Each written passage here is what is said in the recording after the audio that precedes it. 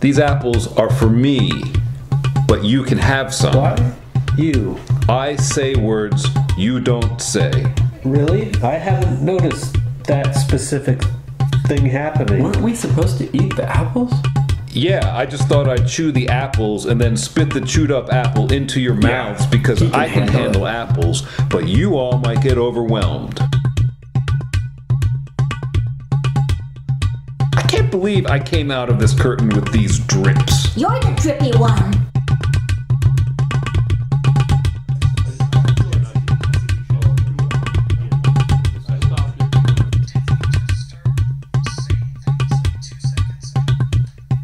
I have a name, you know.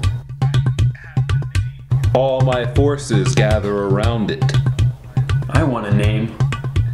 What's a name? It's a word that means me. Like white powder. No, not white powder, you dummy. My name is Romulus Romanoff, and I'm bigger than all you drips. Where did you get the tinfoil? He must have taken it from the hole we came out of. I want it. It'll prove I'm not a drip. I want it to prove I'm just as big. Doesn't mean anything.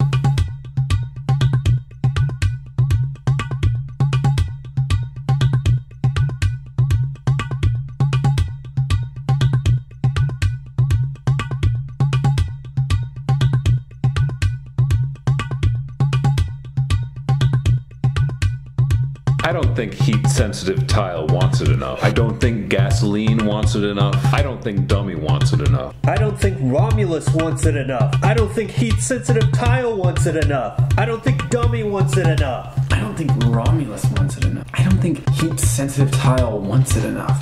I don't think gasoline wants it enough. I don't think Romulus wants it enough.